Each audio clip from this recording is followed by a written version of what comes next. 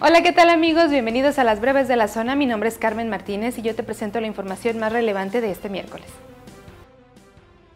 El cigarro y el alcohol son las primeras sustancias a las que los guanajuatenses adolescentes tienen acceso en su hogar.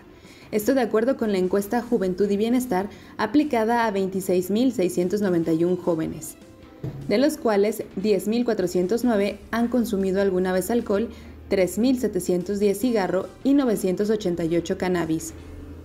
El secretario de Salud, Daniel Díaz Martínez, presentó el panorama de las adicciones en la entidad en una conferencia durante el Congreso Internacional de Prevención de Adicciones, en la que señaló que el uso de sustancias está vinculado a la relación entre padres e hijos.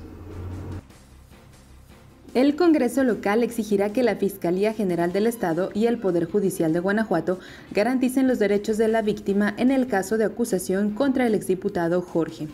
Así lo manifestó el presidente de la Junta de Gobierno y Coordinación Política del Congreso local, el panista Luis Ernesto Ayala Torres, luego de que el diputado federal electo por el PAN fue puesto en libertad al reclasificarse el delito por el que fue acusado de violación espuria a abuso sexual. Finalizada la Junta de Gobierno de este miércoles, Luis Ernesto Ayala declaró que tanto la Fiscalía como el Poder Judicial deben hacer un análisis escrupuloso del caso Romero y garantizar los derechos de la víctima.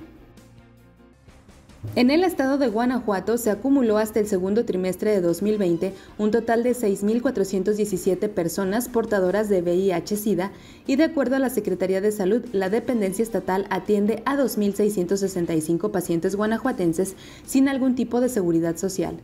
Con motivo del Día Internacional de la Lucha contra este virus, este primero de diciembre, el secretario de Salud, Daniel Alberto Díaz Martínez, informó que la dependencia a su cargo no ha dejado de atender a estos pacientes a través de sus tres centros especializados Capacits evitando que exista un desapego a los tratamientos y así previniendo que lleguen a una etapa de SIDA. Los tres centros especializados atienden en total en Celaya a 924 pacientes, en León a 1.115 pacientes y en Irapuato a 727.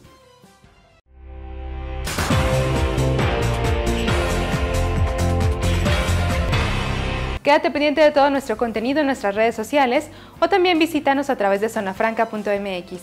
Más tarde ve el bloque informativo que te presenta Bani Jaramillo.